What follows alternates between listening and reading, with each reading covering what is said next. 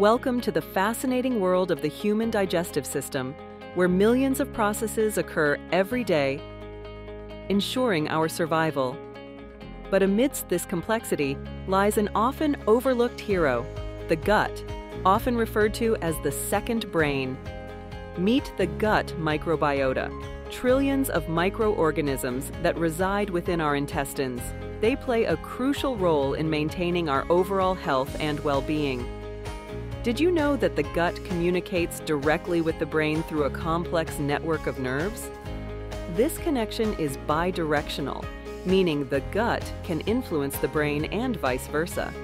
You may be surprised to know that 90% of signals actually travel from the gut to the brain, directly influencing our mood and stress levels. When the delicate balance of gut bacteria is disrupted, trouble ensues. Dysbiosis can lead to inflammation, compromise the gut barrier, and trigger a cascade of events affecting both the gut and the brain.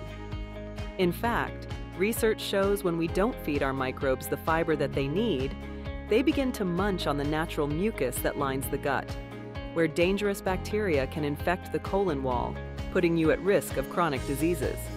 This disruption can also affect neurotransmitter production, triggering mood disorders like depression and anxiety. What we eat plays a crucial role in shaping our gut microbiota. Adequate fiber, dietary variety, and avoiding ultra-processed foods can support digestive health. In addition to the food, enriching our diet with probiotics and fermented foods can further support gut health. Consult with a healthcare professional to ensure you are taking the right product for you. To support your mind, prioritize activities that nourish both your body and your brain. From mindful eating to stress reduction techniques, small changes can make a big difference in your overall well-being. Understanding the connection between our mind and gut empowers us to make healthier choices, leading to a happier, healthier you.